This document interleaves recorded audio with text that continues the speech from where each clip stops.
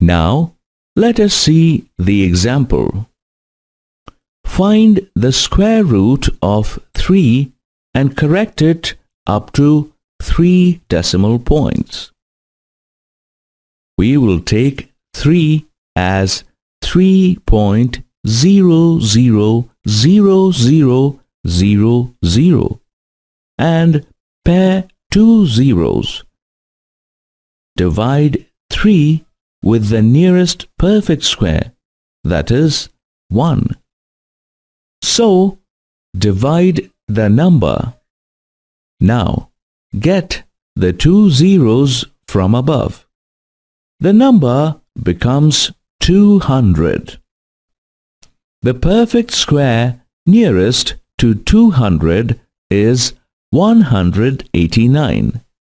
189 is a perfect square and subtract 200 from it. Now treat 1.7 into 17 and double it. 17 into 2 is 34. Now with 34 divide the number. Now beside 34 you should write a number which will be the nearest perfect square to 1100. First, we shall take 2.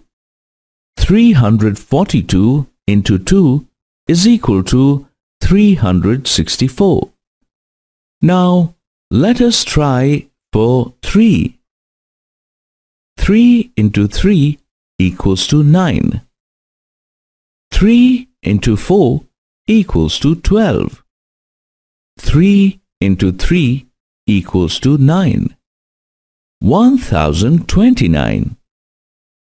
If I take 4, 4 into 4 equals to 16. 4 into 4 equals to 16. 4 into 3 equals to 12. 1376. 1376 is more than 1100. So, we can go with 343. That is, if I take 3 here, here also I will take 3. 343 into 3 is 1029 is 1029. Subtract it with 1100. 1100 minus 1029 is 71. And drop down the next two zeros. 173. I have to double it. 173 into 2 equals to 346.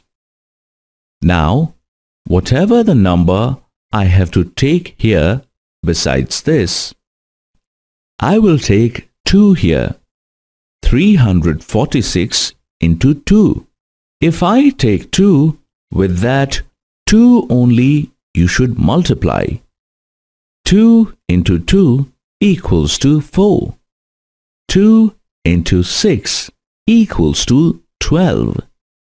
2 into 4 equals to 8.